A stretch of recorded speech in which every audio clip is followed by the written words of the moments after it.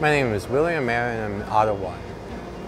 It's a very good hands-on course. You learn a lot about the vehicle systems and repair and how to do it yourself. This class is great for learning real-world um, skills for, in the auto program.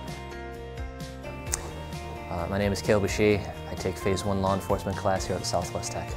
Uh, I want to get into a career in law enforcement and this is a good first step. I get to learn about narcotics, traffic stops, all the basic stuff that goes into law enforcement so I can really understand if I want this as a future career path.